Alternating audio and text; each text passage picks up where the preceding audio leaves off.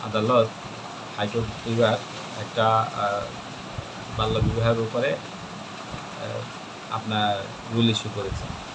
সেটা ছিল নারায়ণগঞ্জের একটা ষোলো বছরের মেয়ে আর হলো একটা আঠারো বছরের ছেলে। তারা দুইজনেই বিয়ে করবে তো চাইল্ড ম্যারেজ রেস্টুরেন্ট অ্যাক্টে যে উনিশ দ্বারা একটা স্পেশাল সার্কামস্টেন্সেস বলা আছে, যেখানে বলা আছে যে মাইনররা স্পেশাল সার্কামস্টেন্সে বিয়ে করতে হবে প্রোভাইডেড সেটা পারমিশন লাগবে ফ্রম দ্য কোর্ট কিন্তু তারা দরখাস্তটা করল হলো ডিসি ঢাকার বরাবর তো ডিসি ঢাকা তাদের পারমিশন দিচ্ছে না দেখে দেন তারা হাইকোর্ট ডিভিশনে এসে একটা রিট পিটিশন ফাইল করে।